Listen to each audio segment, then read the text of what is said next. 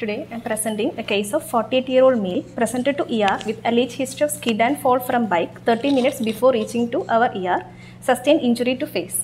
On initial 10 second assessment, airway was patent, patient was able to talk and complete one full sentence, but he had difficulty in opening mouth completely. There was no pulling of secretions or any oral bleeding. Uh, C-spine was maintained with C-collar from our hospital. Coming to breathing, saturation was 96% by room air, respiratory rate- was 18 per minute, air entry bilaterally equal. Coming to circulation, BP was 130 bar 70 millimeters of mercury, pulse rate was 100 per minute, all peripheral pulsations equally felt. Coming to disability, GCS was 15 by 15, pupils equal and reacting to light. Uh, he was having complaint over bilateral preauricular area and the pain score was 7 by 10. So initially we uh, managed with injection PCM 1 gram IV stat. Coming to exposure, there was left ear bleed and uh, laceration over the chin which is 4 into 1.5 into 3 centimeters. Coming chin over the chin center center. Coming to history, a 48 year old male with no known comorbidities presented to ER with alleged history of RTA, skid and fall from bike. He was helmeted rider. He fell on his face from the bike. There is no history of any LOC, vomiting or seizures. He himself removed his helmet and onlookers took the patient to the ER. He also had complaint of pain over the left shoulder and back and also the uh, bilateral preauricular area. Coming to secondary survey, uh, on head examination, eyes, there was mild bruise over the left eye. No visual disturbances was noted. Eye movements were normal. No subconjunctival hemorrhage or no deformity noted. Uh, coming to nose, there was no epistaxis or any deformities. Uh, there was a lacerated wound over the chin, 4 into 1.5 into 3 into centimeter. And there were no crepitus over the sinuses. Coming to temporomandibular joint, pain on palpation of bilateral temporomandibular re- joint region was there. Pain noted during mouth opening and he was uh, unable to open the mouth completely. Coming to ear, left ear so bleed. one uh, very important thing in uh, when you palpate the preauricular region, you should also check for movement, movement of the joint.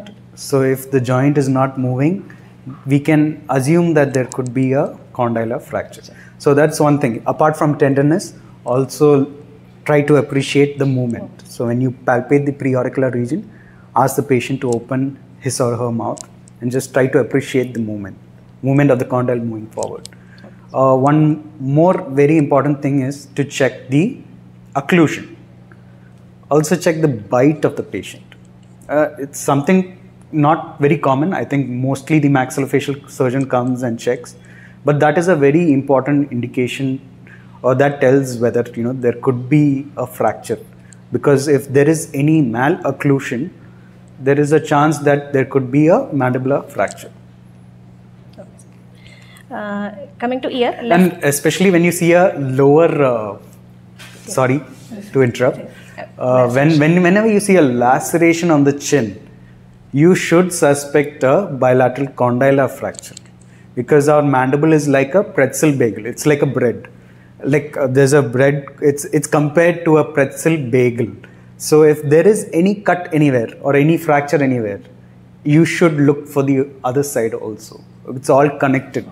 So especially when you have a trauma on the chin, the effect goes on to your condyles. So this is a perfect uh, scenario. Like you have, uh, I, I don't think the patient has a fracture here, but fracture on the symphysis, but on the condyles, it is there. Uh, coming to ear, there was left ear bleed and ear plug was kept. Uh, on zygoma, there was no deformity, no tenderness over the cheek. Uh, intraoral examination, mouth opening was limited and he was able to close mouth but painful. Maxilla and mandible was stable. Uh, coming to C-spine, it was maintained with C-collar. Uh, since he is having a facial trauma, we uh, so initially had put a C-collar. Neck, there was no, uh, there was mild neck tenderness over the bilateral side, no swelling or bruises. Chest, uh, left shoulder movements was painful. Uh, there was no deformity and chest was non-tender, air entry bilaterally equal and normal vesicular breath sounds were heard everywhere. Per abdomen, it was soft, non-tender and pelvic compression test, test was negative and uh, all other four uh, three limbs were uh, moving. No, there was no painful restrictions. So initially we had managed with uh, analgesics and we had sent the patient for CT brain with facial cuts because he was having a left ear bleed and then uh, he was having the pain over the temporomandibular joint. So CT brain with facial cuts was showing uh, condyles of both temporomandibular joint are fractured, subluxation of the left temporomandibular joint with hematoma in the joint space. And If, if you were to take a conventional radiograph, what would you consider? um, panorex. Yeah, you can go for an OPG. If OPG is not available, you can consider a PA, a PA view. Yeah, PA view will give you a good idea about the condyles moving or condyle fracture. OPG is the best if you're going for a conventional. Uh, if OPG is also not available in your hospital, you can consider a PA cast. Yeah. Okay. What are the indications for taking an X-ray? Uh, if there is uh, visibly there is any deformities over the uh, face uh, or else there is any uh, active bleeding from the oral oral cavity with a fracture any malocclusion of teeth uh, so what is this Manchester mandibular role for taking X-ray of the mandibular region or OPG? um, So we need to look for the mouth opening, any malocclusion of teeth, any broken teeth, any trismus, only five indications. Malocclusion, trismus, broken teeth, any step deformity or pain while closing mouth. Any of the five is there, then we have to consider taking an X-ray in a limited setting. Uh, we have a facility for CT, but otherwise we will take an X-ray. Um, these questions will come for uh, uh, this MRCM preparation. So that is the rule. These are the indications. Um, CT was also showing a hematoma seen involving both masseter, temporalis and lateral pterygoid and left preauricular region and malleus was normal. Uh, incudostapedial joint is not clearly seen on left side which was obscured by soft tissue density at oval window, query hematoma. And X-ray of left, left shoulder was showing an inferior angle scapular fracture also. It was managed conservatively. CT didn't show condylar any anything regarding the condyle. Uh, condyles temporomandibular joint. Both yeah. temporomandibular joint are fractured and with subluxation of the left temporomandibular joint with Okay. hematoma in the joint space. joint space. Okay, fine. So uh, patient was uh, admitted under uh, OMFS and then uh, they did a intermaxillary fixation and wound debridement of the chin. So uh, the uh, CT revealed a high condylar head fracture. So in such cases, you need not go for a surgical intervention. You can consider a conservative management. Uh, so what we had decided, we had spoken to the patient. Uh, we told him that it, it is better to manage conservatively than a surgical and we went ahead with something called as intermaxillary fixation it involves uh, arch bar fixation where a bar is fixed around the teeth both in the upper and lower jaw and it is tied together in occlusion and it is left for at least 2 weeks. We send the patient if the patient cannot uh, have fluids even then uh, we suggest uh, rt to supplement his nutrition. Uh, yeah after uh, imf we recall him and then we put him in elastics. We put we place rubber bands around the uh, arch bar. So arch bar have has hooks so around these hooks we place rubber bands and we try to guide the occlusion. So towards the end our aim is to get a good occlusion for this patient. Considering it is a very uh, it's like a very small fracture and it is it does not cause a big deformity on the face. So that's why we went ahead with the conservative ma- management yeah. From ER point of view, what all will you be uh, assessing and how will you manage this patient? So Uh, this patient had a uh, airway-wise patient Fit- Otherwise, what would have been done? Uh, when the patient came with facial fractures, we the primary concern is with the airway. So uh, initially we have to see whether the patient is able to maintain the airway. A talking patient is supposed to uh, maintain his own her airway by its him on. Uh, so uh, we had to look for uh, first the facial in, in, on inspection we had to see the uh, any deformities or any fractures any uh, active bleeding sites uh, and uh, in airway we have to check whether any pooling of secretions, any oral bleeding, any malocclusion, any tooth loss or any obstructed teeth. Um, and then uh, if there are if there are teeth anything we have to remove that suction can be given. Uh, if the patient is not able to maintain the airway, uh, we'll have to go for airway maintenance technique. So airway might be compromised in other conditions also because of the edema or because of any other foreign bodies or because of other injuries. Like patient might have any uh, um, any ICU bleed that can affect the GCS and that can affect the airway. So that should be checked and also patient if there is any features of intoxication. So we see lot of intoxicated patients coming to ER. So that also can uh, affect the GCS, Yes. thereby that will uh, affect the airway. So that also should be checked. Okay. Any next I would one? like to add on airway. So sometimes uh, there is bilateral symphysis fracture. So when in such cases the whole chin goes behind and that also obstructs airway.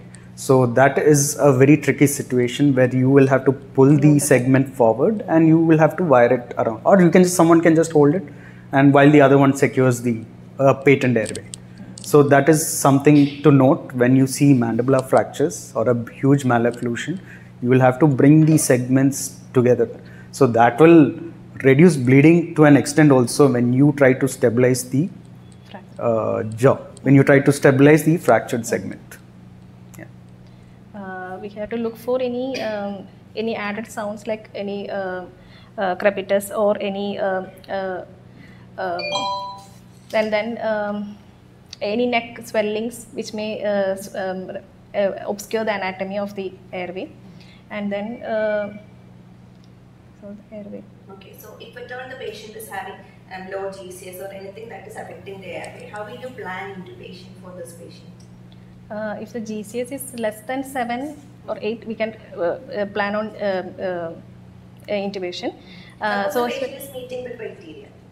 uh, initially, we have to, uh, for uh, airway ma- maintenance techniques, should be checked. If the, uh, we have to uh, do chin lift, uh, f- uh, face lift, everything after ruling out any C-spine injury. And Until then, she head- only after if, if there is any uh, after ruling out C-spine C-spine injuries. But if a patient is presenting to ER with a compromised airway, we don't have any radiographic proof Proof. that patient is having a normal C-spine.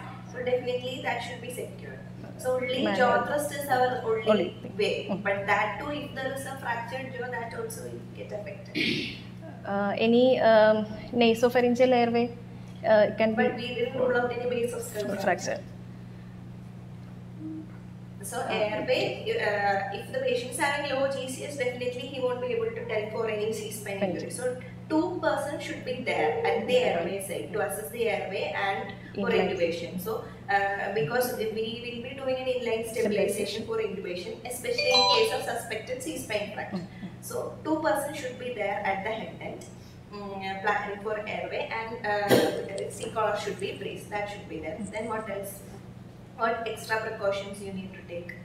Uh, suction Mm, suction. uh, for any bleed or any um, and then forceps for to take any foreign bodies For everybody. Yeah, Uh, suction. uh, and then if there is tongue is tongue fall is there we can just pull out the tongue and keep it in the way to uh, you know, so that we can uh, easily intubate um, and then So uh, usually for intubation we will be arranging the drugs and also the equipments. Uh, here what else we'll have to arrange? If the intubation fails, what else we will be arranging?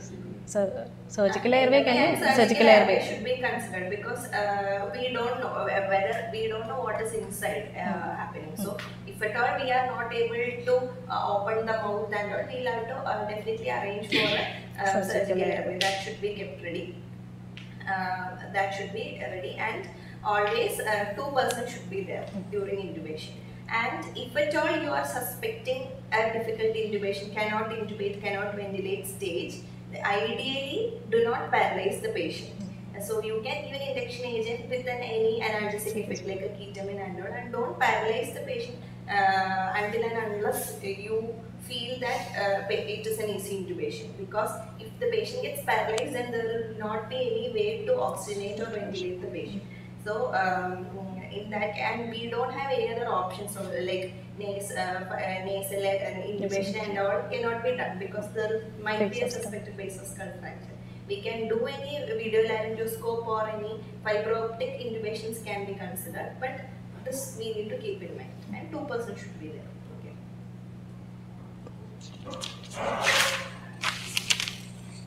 Okay. Then uh, regarding the uh, any uh, specific fractures coming to uh, mainly uh, first is frontal fracture. We have to initially inspect for any uh, What is the most common face fracture which can come to nasal Nasal. septum fracture, and then it is second is a mandibular fracture. So uh, in frontal fracture, we should suspect. I mean, look for any uh, depression fractures, and we suspect should any IC bleed. And uh, then coming to orbital fracture, the mm, we have to look for the um, blowout fracture. That is, we have to look for the pupil for a teardrop sign and uh, any hyphema in the eye. Uh, and then Drop sign will not Yeah. be seen in pupil. Pupil, will be seen yeah. X-ray. X-ray, yeah.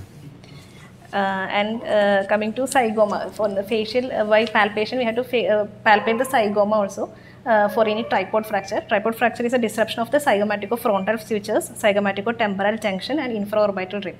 And coming to uh, the mid-facial fractures, that is a Le Fort fractures. Le Fort fracture is one is uh, transverse fracture separating the uh, mandible, maxilla from the pterygoid plate and nasal septum, and two is a pyramidal fracture, uh, which is uh, central maxilla and hard palate, and three is the craniofacial disjunction.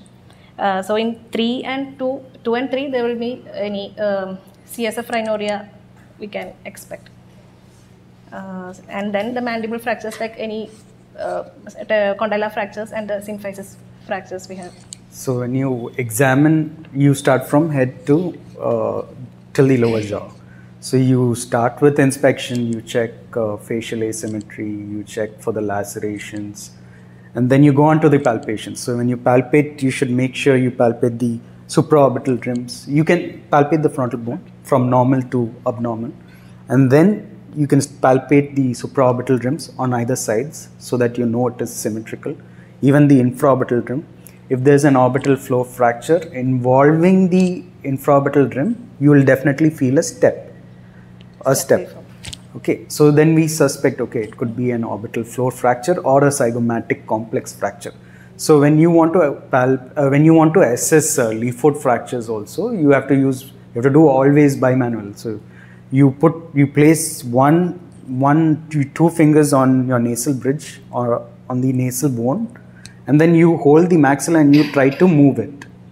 If there is movement you can suspect okay fine. If there's only movement over here it is Le Fort 1 if there's movement on both like both your hands then it could be Le Fort 2 so Le Fort 3 means you assess the FZ also apart from this you see FZ if FZ is also you can palpate some movement that could it could mean it's a Le Fort 3 uh, so that's how you assess. You have to look orally also. You have to see if there are any signs. So we have various signs like if there is a hematoma in uh, the lingual aspect of the lower jaw, it is called as Coleman's sign.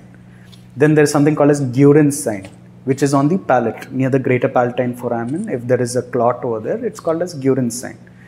So when you go, when you palpate, you always start from top to down. And once you reach the lower border, always palpate the lower, uh, inferior border of the lower jaw.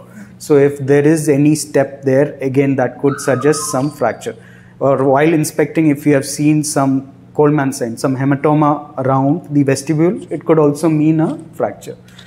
Uh, malocclusion is very important. Missing teeth are also very important. When you see missing teeth, okay, there could be, you tend to suspect that there are fractures. So yeah, if you get your assessment right, you can diagnose also at the same time. Along with that, just uh, for the features of base of skull fracture. What Yeah. all are they? Uh, Battle sign uh, around Battle the sign, hematoma or the uh, postauricular area and raccoon eyes. Components, then Uh, CSF rhinorrhea. Rhinorrhea, CSF otorrhea. Um, that is for the base of skull fracture. Look for the C-spine as we have already mentioned. Then, if at all the patient is having very low GCS and all, uh, and if you are suspecting any um, um, tooth loss, broken teeth and all, and if you are not able to aspirate, always look for the X-ray to see if there is any teeth which has been aspirated. Forward. or. Okay. Yes. Uh, Awal's teeth, yeah, that is very important. Missing teeth is always to be noted. There are chances that patient could have aspirated, and yes, like she mentioned, you should always take X-rays. Yes. Okay. Thank you.